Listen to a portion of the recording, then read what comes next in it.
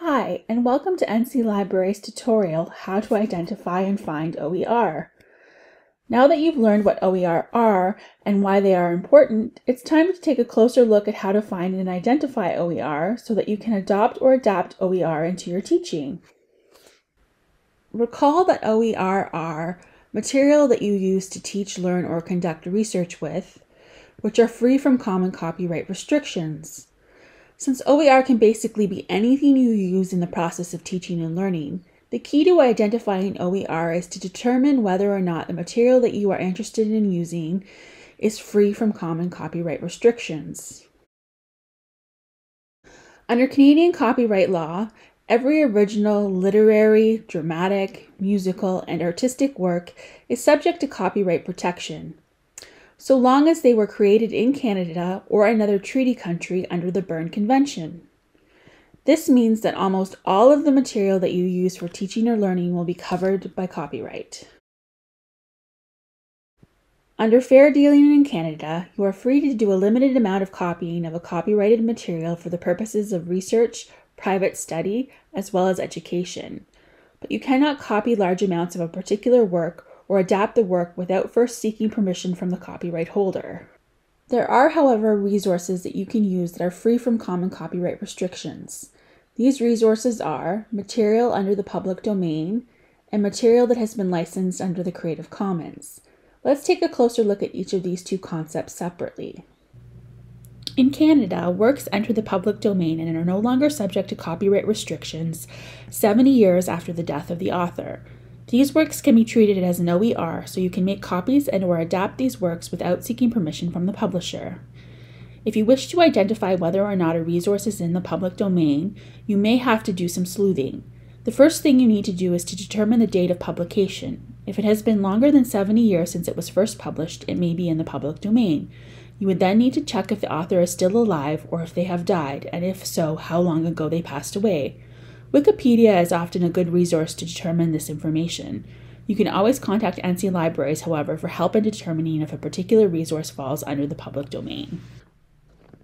A Creative Commons license can be placed on a resource by the copyright holder in order to permit the resource to be used in ways that traditional copyright would not allow. One of the goals of the Creative Commons is to increase the amount of openly licensed creativity in the commons, the body of work freely available for legal use, sharing, repurposing, and remixing. There are seven different license types. Some are more permissive than others. They are the CC BY license. This license allows reusers to distribute, remix, adapt, and build upon the material in any medium or format, so long as attribution is given to the creator. CC by SA. This license allows reusers to distribute, remix, adapt, and build upon the material in any medium or format, so long as attribution is given to the creator. The license allows for commercial use. If you remix, adapt, or build upon the material, you must license the modified material under identical term. The CC by NC license. This license allows reusers to distribute, remix, adapt, and build upon the material in any medium or format for non commercial purposes only, and only so long as attribution is given to the creator. The CC by NCSA license. This license allows reusers to distribute, remix, adapt, and build upon the material in any medium or format for non commercial purposes only, and only so long as attribution is given to the creator. If you remix, adapt, or build upon the material, you must license the modified material under identical terms. The CC by ND license. This license allows reusers to copy and distribute the material in any medium or format in unadapted form only, and only so long as attribution is given to the creator. This license allows for commercial use. The CC by NC ND license.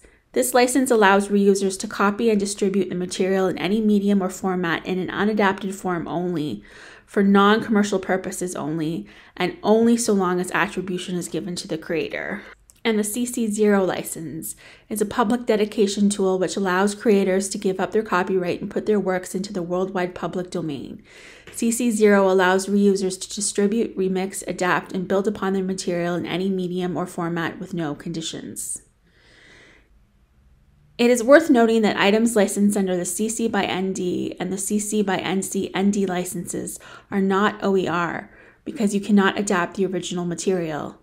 They are open access materials, however, so you are free to use them in their unaltered form for classroom use.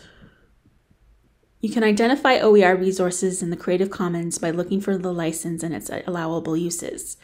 These licenses can be found next to the author info or in the About or Terms of Use section of a website.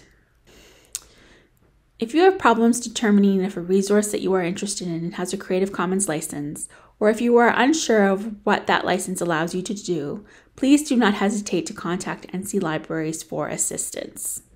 Now that you can identify if a resource is in the public domain or if it has a Creative Commons license, it is time to learn where to find these resources. Most, but not all, OER resources, especially resources with a Creative Commons license, exist on the internet. If you were to do a search for a topic, let's say algebra, and search through all the results, you might find a resource that is helpful, but it probably won't be an OER.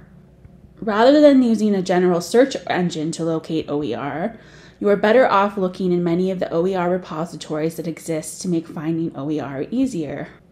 Detailed information about these repositories can be found on NC Library's OER guide. To find this guide from the NC Library's homepage, just click on Faculty Staff Services and then OER and then find OER by subject for a list of relevant OER repositories. Generally, there are repositories that help you find textbooks and repositories that help you find teaching materials.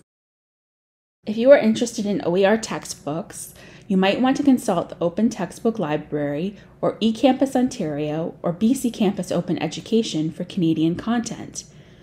If you are interested in supplementary teaching OER, then you may want to consult the OER Commons Repository or Merlot. If you try these resources and still can't find what you are looking for, don't despair. Contact NC Libraries and we can help you to expand your search in order to hopefully find what you are looking for. To recap, both items in the public domain and items with a Creative Commons license can be defined as OER, so long as they are both being used for educational purposes. You can identify if something is in the public domain by researching the death date of the original creator. You can identify if something is in the Creative Commons by looking for the license. You can easily find OER by searching through OER repositories. For a detailed list of OER repositories, check out the following website. In our next OER tutorial, we'll take a closer look at the process of adopting, adapting, or creating OER for use in the classroom at Niagara College. Again, if you have any comments or questions, please do not hesitate to reach out to us. Our email address is library at niagaracollege.ca.